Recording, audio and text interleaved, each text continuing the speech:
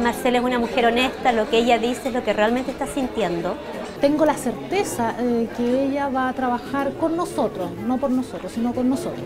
Una mujer con la que te podéis poner a conversar sin ningún problema. Me da confianza, que es un tema que hemos perdido en el último tiempo. Hay una persona que, que reconoce en el esfuerzo en el otro, esa, esa posibilidad de reconocer que así como ella emprendió, hay otros que también están tratando de emprender con, mayores, con más o menos oportunidades y eso me convence, me convence lo que ella ha hecho y cuando nos conversamos hay confianza.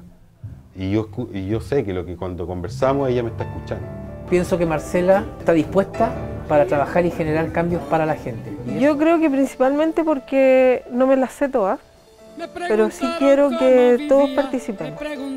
Porque he participado en muchas organizaciones, ahora eh, he trabajado desde mi junta de vecinos, a la Unión Comunal de Juntas de Vecinos Rurales, estoy en la Federación Provincial de Juntas de Vecinos Rurales. Que salga gente de las movilizaciones mismas, es que se escuche un poco más fuerte la voz de, quienes están ahí en constante eh, contacto con las necesidades, con eh, las reales problemáticas que existen y no basar su trabajo en base a ficciones, que muchas veces es lo que pasa con, con los concejales o, quienes están, han estado muy arraigados al poder, que se olvidan de la gente muy fácil.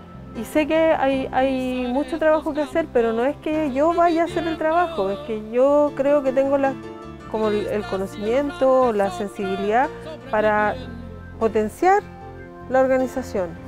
Porque eso es lo que necesitamos, no necesitamos que gente, que gente venga a hacer el trabajo, sino que, que nos unamos todos a hacer lo que hay que hacer. Viviendo,